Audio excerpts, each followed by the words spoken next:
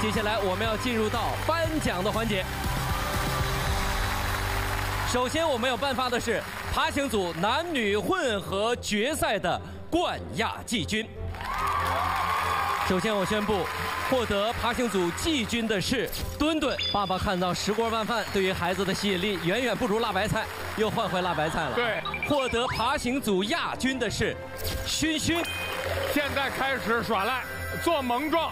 获得我们爬行组男女混合决赛冠军的是小狮子。好，好，小狮子一枝独秀。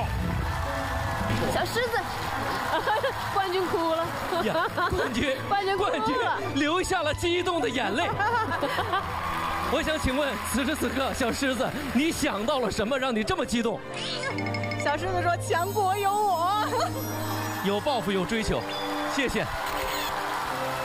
接下来跨栏组季军的是福仔。福仔现在徜徉在所有的栏架的搬运当中啊，他完全当成了另一种比赛。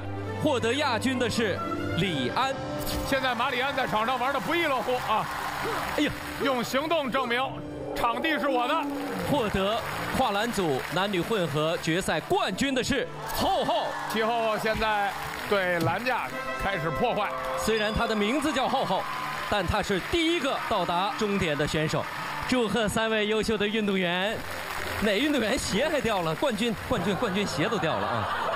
为什么人家能获得冠军？光脚的不怕穿鞋的。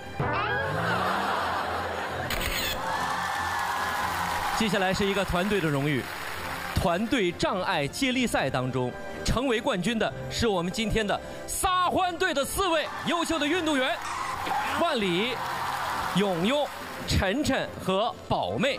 祝贺四位优秀的运动员！那成为本场优秀的冠军团体就是我们的撒欢队。谢谢。